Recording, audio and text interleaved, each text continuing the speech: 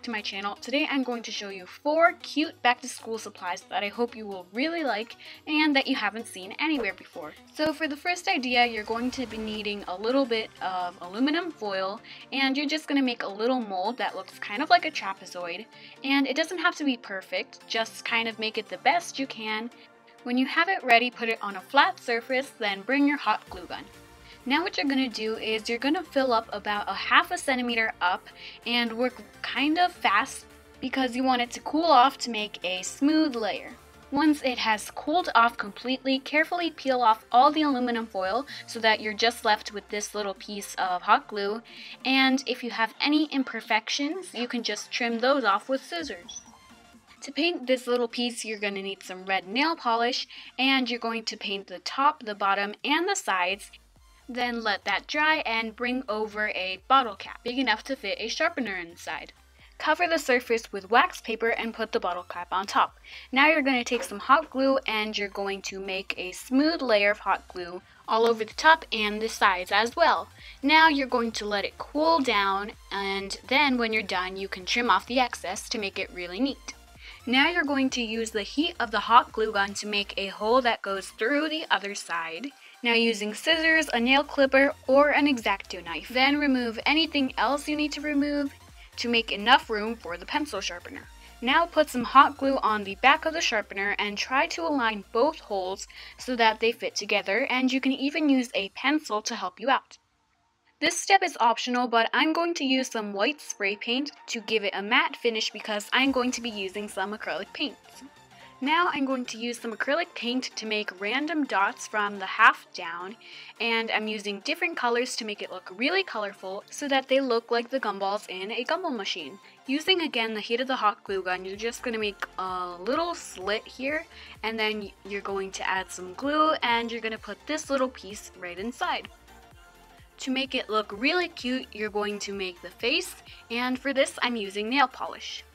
Then paint the lid of the gumball machine and then using some silver paint or nail polish, you're going to paint this little slot for the coins and this little thing where the gumballs come out. And this is how you make a mini gumball machine sharpener.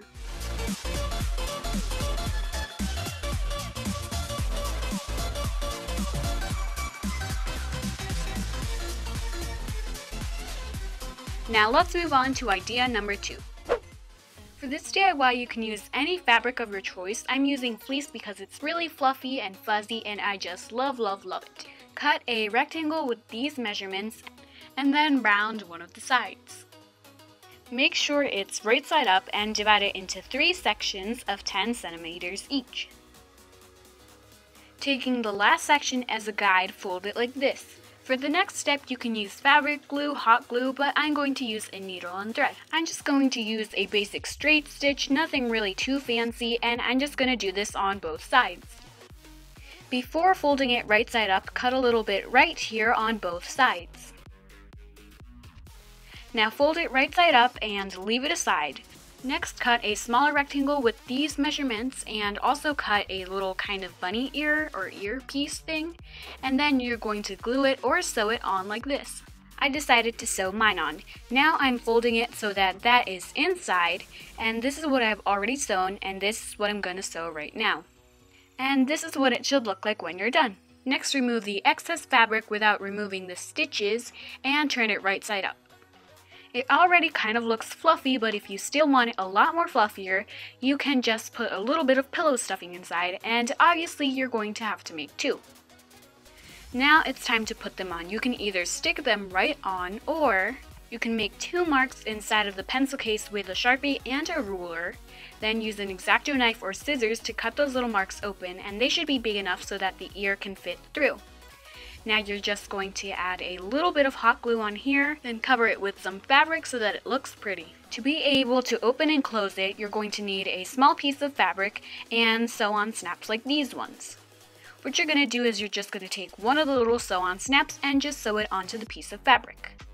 And then you're going to add some glue to that and glue it on the inside of the pencil case. With this method, you won't have any glue or extra thread on this side and obviously you will have to sew on the other snap. cut two pieces like these and you can sew them or glue them right here. As you can see, I decided to sew mine. Now I decided to use a template that I drew with a Sharpie marker so that I don't mess it up because I'm not very good at freehand drawing. So then I'm just going to carefully trace it onto the top and then you can use fabric paint or puffy paint and I decided to use puffy paint and I'm carefully going to paint the same onto the outline.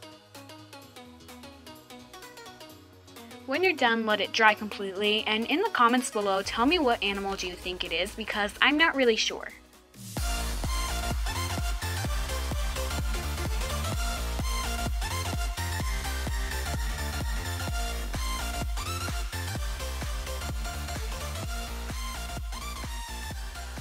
For idea number three, I'm going to show you how to decorate some pens.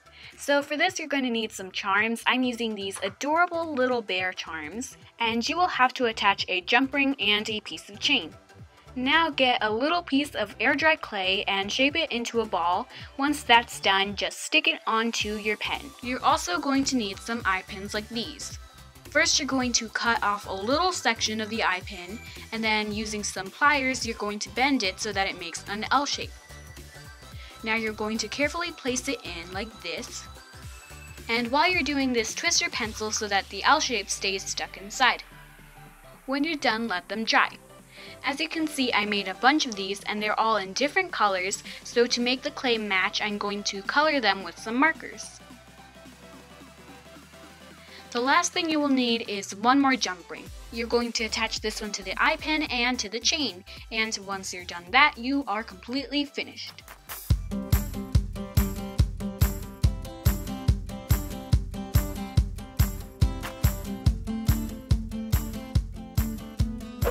For the last idea, we're going to need a piece of cardstock or any other sturdy paper with these measurements.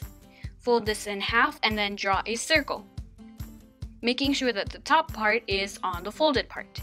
Now you're going to cut off the excess and make sure that both of the parts are still attached. And to make it a little bit more sturdy, I'm going to add a piece of brown paper right here. Then I'm going to make two circles with that same brown paper and glue them onto those. Then I'm going to add some icing using green paper, and using my X-Acto knife, I'm going to cut a circle in the middle. Draw on some sprinkles, and don't forget the adorable face. I made the eyes with some paper, the mouth with a sharpie, and the white parts with pen. You can make as many as you want using different colors. Once that's done, I covered them with some clear tape and then cut off the excess so that it makes them look really shiny. To turn them into bookmarks, you're going to need to add a little bit of glue and then add on a magnet. And the magnets I'm using is from one of those cards that shops give you to put on the refrigerator. And that's it, you have your very own magnetic bookmarks. So when you're ready to be finished reading, you can put on your little bookmark and clip it on. Hope you enjoyed these DIY school supplies. If you make these, don't forget to tag me on my social medias, and until next time, bye!